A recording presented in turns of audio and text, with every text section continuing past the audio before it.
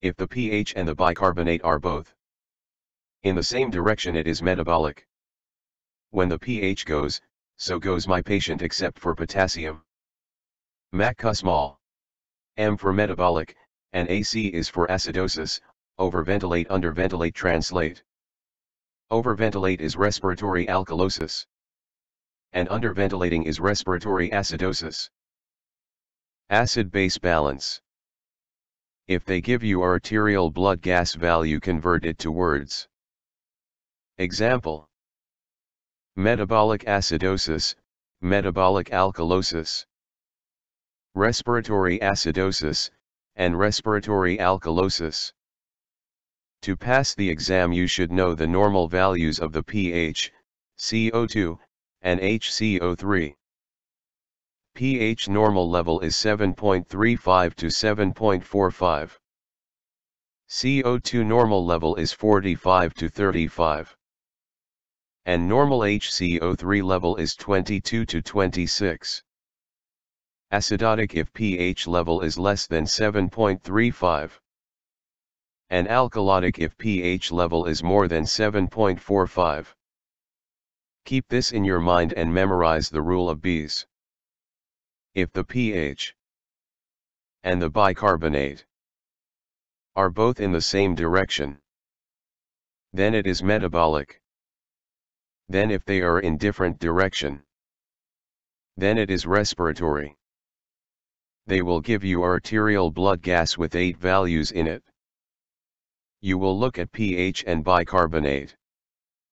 Then look at the direction that they are going in if they are both down or both up. Basically in the same direction. Then they are both metabolic.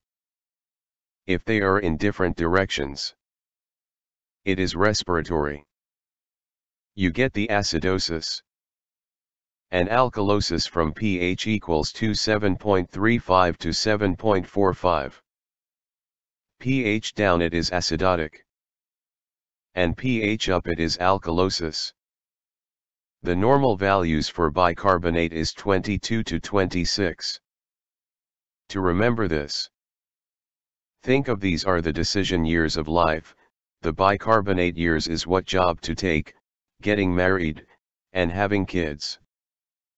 These decisions give you heartburn so you need bicarbonate.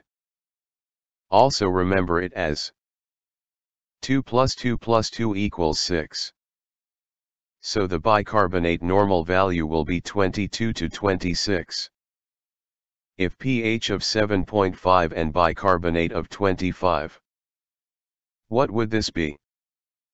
It is respiratory. Alkalosis. Why? Because the pH is high and the bicarbonate is within the normal range of 22 to 26.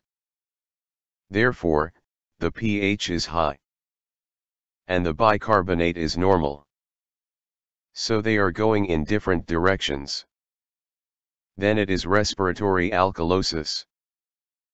PaCO2 is 35 to 45 mm Hg is the normal range. When the PaCO2 is elevated then you have a respiratory acidosis. And when it is low you have respiratory alkalosis. When the PaCO2 is opposite from the pH, it is a respiratory issue. So for example, pH will be elevated with a decreased PaCO2. This means that it is alkalosis and then when the pH is decreased and the PaCO2 is elevated is acidosis. Please take note on this. If you don't know the answer, don't give up, you know it is just a test, to test you on applying principle. And not to remember, not to memorizing lists and lists will never be tested. Because all books have different lists, it needs to be a fair question for everyone using any book from anywhere nationally. Please consider this for select all that apply questions, is your chance to show you know principle. Principle for acid-base questions. As the pH goes down, my patient down, as in person shut down. And if pH goes up, then patient goes up. Meaning more hyperexcitable except for potassium. Remember this potassium goes in different ways. If patients goes up it is alkalosis we will see irritability. Hyperreflexia with positive 3 and 4, the positive 2 is normal reflex. And positive 1 and 0 are hyporeflexia. So, if the patient goes up as in alkalosis it is the same as in pH greater than 7.45, we will be seeing a hyperreflexia of positive 3 and 4. Tachypnea, tachycardia, and borborygmi, the increased or active bowel sounds. And if patient's vital signs are down, it would be acidosis, you would see hyporeflexia. Bradycardia, obtunded or lethargic. Paralytic ileus the blockage of the intestine due to paralysis and inactivity of the intestinal muscles and worst thing is coma. Please take note on this. The acid-base imbalances that needs an ambu-bag is, acidosis. So if you encounter a question, what acid-base imbalance needs an ambu-bag at the bedside? The answer is thought the acidosis. Because due to acidosis patient will go down. So they will have a respiratory arrest. Next is what acid-base imbalances that need suction machines at the bedside? The answer will be alkalosis because they can seize an aspirate. Which needs suction again? Alkalosis, because they could seize an aspirate. So, the rule is, as the pH goes, so does my patient except for potassium. Who know MAC Kussmaul's? Every time you hear Kussmaul's think MAC you will only see this with metabolic disorder so. M is for metabolic. And A, C is for acidosis. Kussmaul's breathing are compensatory pattern for one and only one acid-based disorder such as metabolic acidosis. They are abnormally deep and increased in rate. It is also occurs in diabetic ketoacidosis. Okay. Let's practice some questions. Tell me which are, up, and which are, down.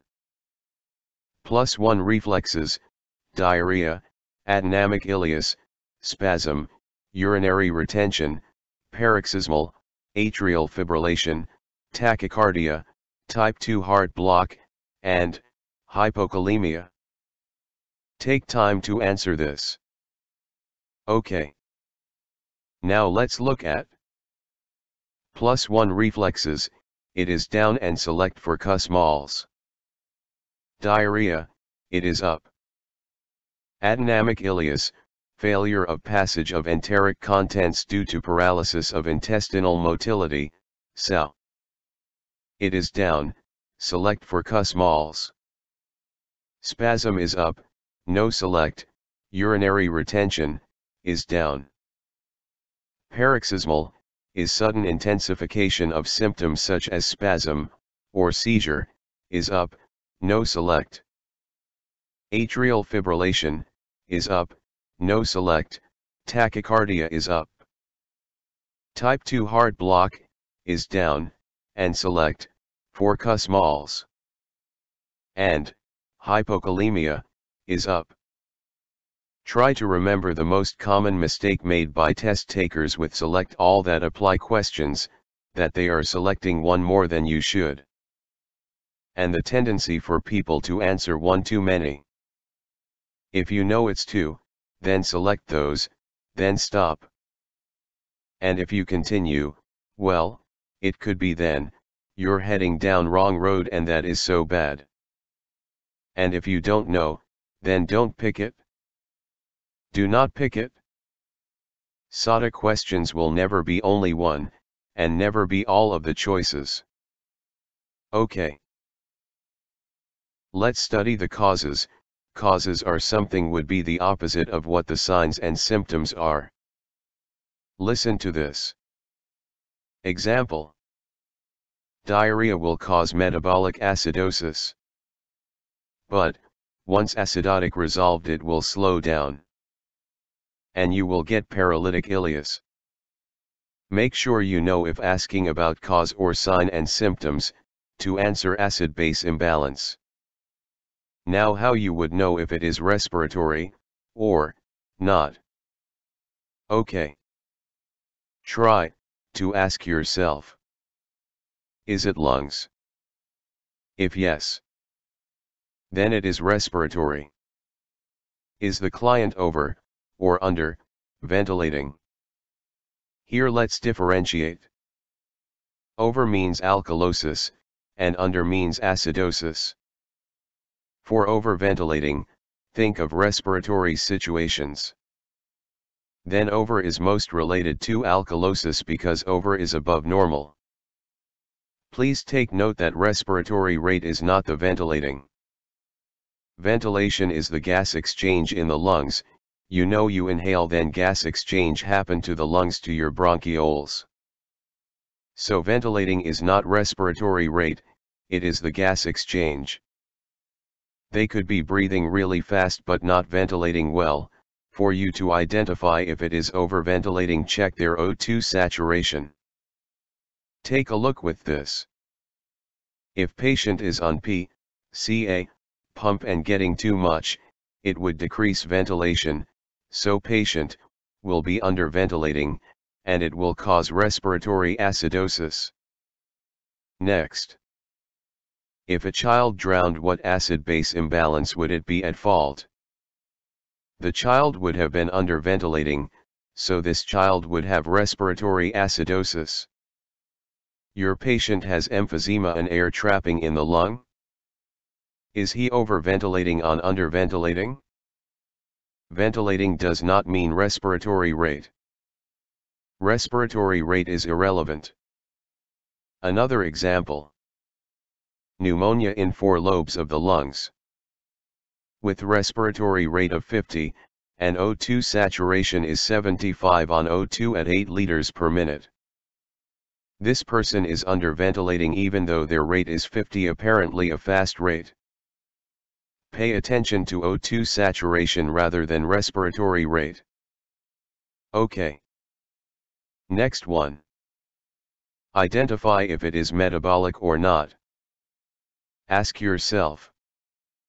What if it is not lungs? Then it's metabolic, there is only one scenario that would result in metabolic alkalosis. Let's say patient has prolonged gastric vomiting. Or suctioning too much, it will be metabolic alkalosis. Why? Losing acids, the acidity level in GI is becoming basic. Always remember everything else that is not lungs. It will be metabolic acidosis. Here in examples, NG tube at low suction for 3 days, it is metabolic alkalosis. Hyperemesis gravidarum, a complication in pregnancy where patient has severe nausea, vomiting that can cause weight loss, and electrolyte disturbances. It is metabolic alkalosis. When they continue to have vomiting they become dehydrated. What acid-base balance is this? So now they got dehydrated, it is not prolonged gastric vomiting, this not always you see is what it is, so now what do they have? It is metabolic acidosis. What if renal failure? It is not lung, not vomiting or suctioning, then it has to be metabolic acidosis. Now if an infant having diarrhea, it is not vomiting, not suctioning, then it is metabolic acidosis. The third degree burns with dehydration, it is not lung, not vomiting or suctioning, it very simple that it has to be metabolic acidosis. Note on this one always remember that if you don't know what it is, it always be metabolic acidosis. You will never miss a questions and it is 100% chance to get the correct answer if you are using this principle. Let us summarize our topic. All you need to know for acid-base balance is if the pH and the bicarbonate are both in the same direction it is metabolic. When the pH goes, so goes my patient except for potassium. MAC. M for metabolic, and AC is for acidosis, overventilate underventilate translate. Overventilate is respiratory alkalosis.